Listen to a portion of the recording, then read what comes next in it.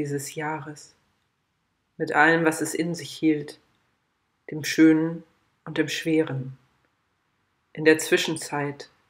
Zwischen den Jahren, zwischen Hoffen und Bang, zwischen Zuversicht und Ungewissheit, zwischen Sorge und Vorfreude.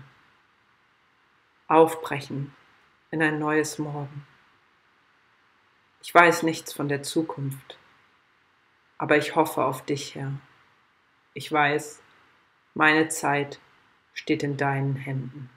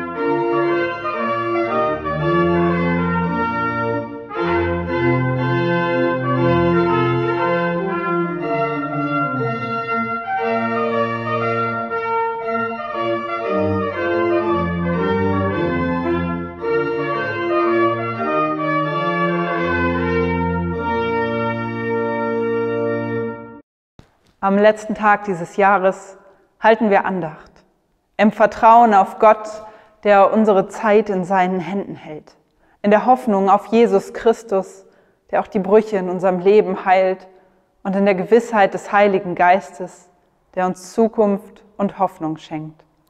So feiern wir in seinem Namen, im Namen des Vaters und des Sohnes und des Heiligen Geistes. Amen. Wir beten. Barmherziger Gott, wir blicken zurück auf dieses Jahr. Wir danken dir für all das Gute und Schöne, das wir erleben durften, für das Glück, das du uns erwiesen hast. Wir wissen aber auch, wir haben Möglichkeiten verstreichen lassen und vieles nicht getan, was wir hätten tun sollen. Für das bitten wir dich um Verzeihung.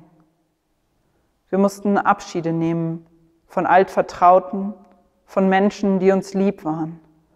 Alles, was uns schmerzt und was wir kaum aussprechen können, bringen wir heute vor dich. Berge es bei dir.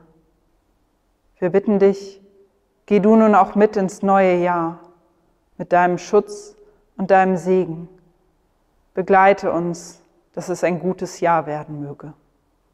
Amen.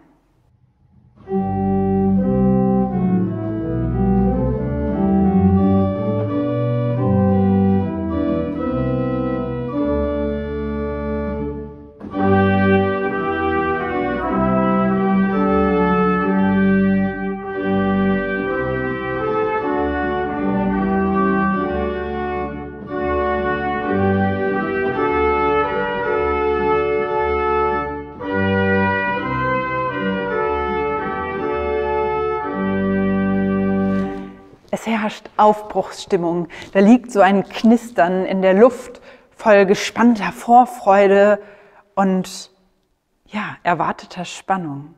Was kommt? Was wird? Sehnsüchtig geht der Blick nach vorne. Noch ist so vieles möglich.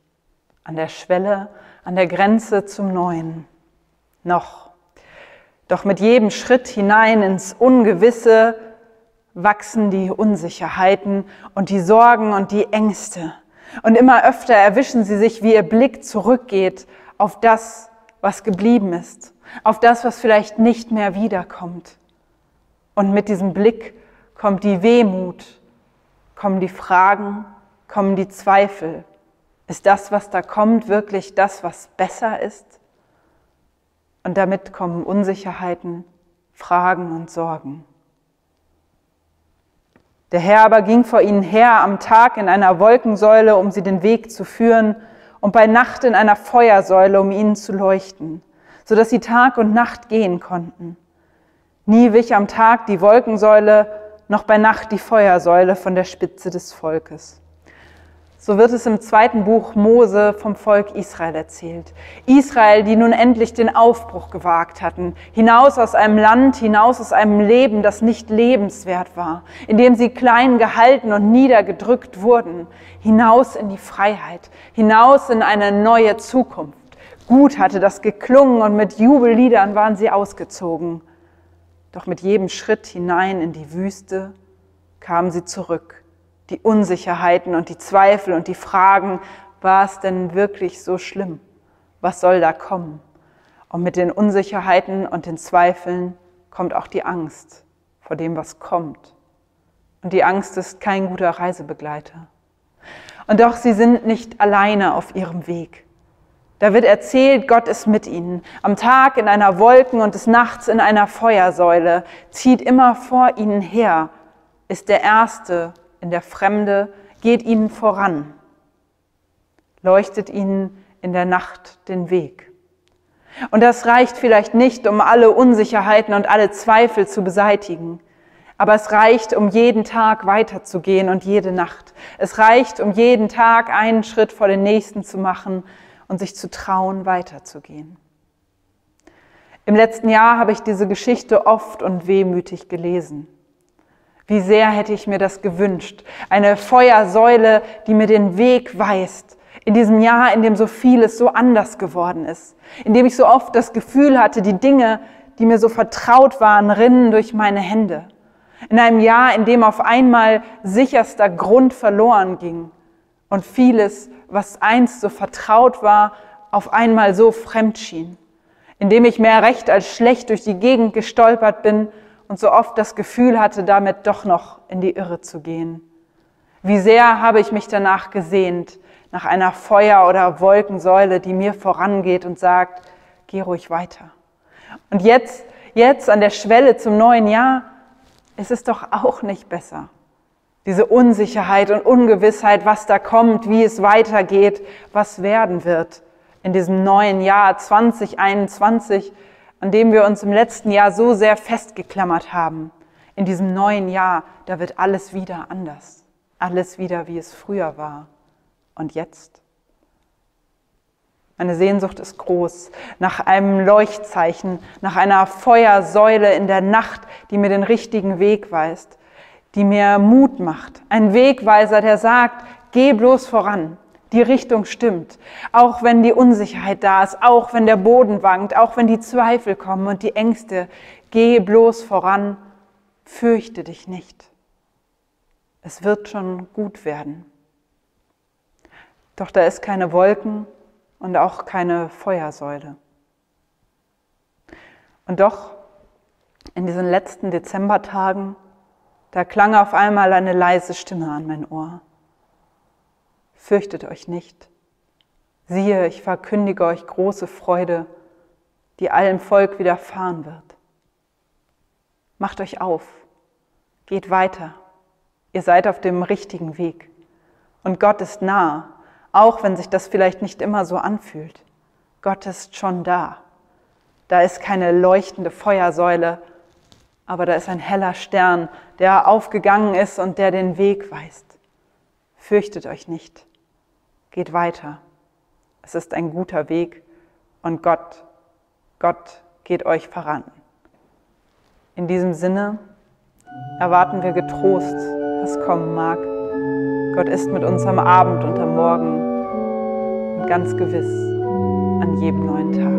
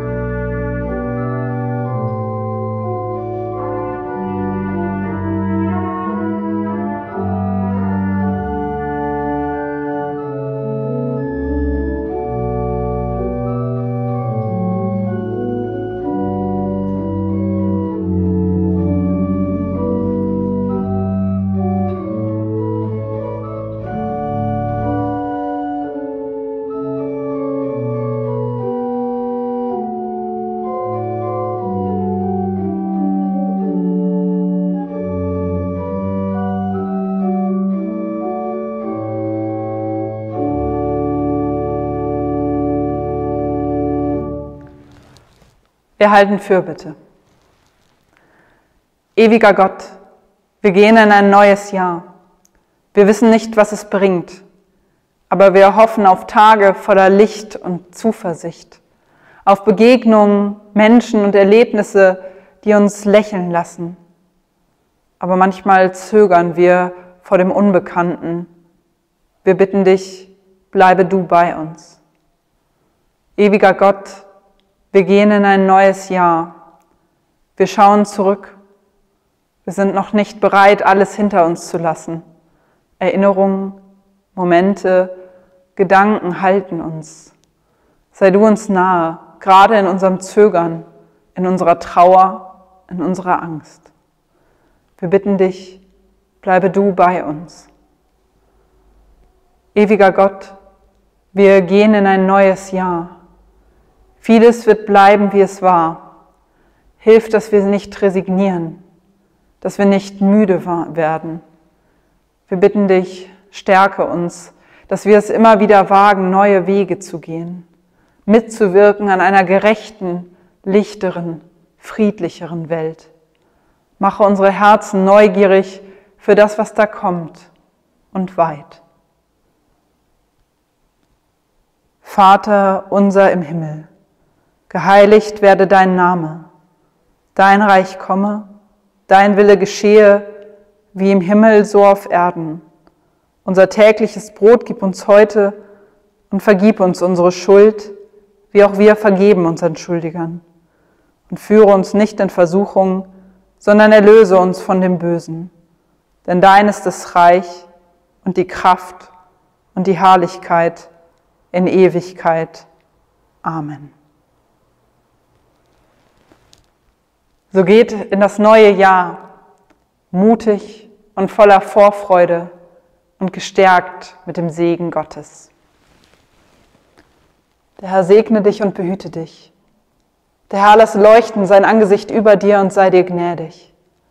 Der Herr erhebe sein Angesicht auf dich und er schenke dir Frieden. Amen.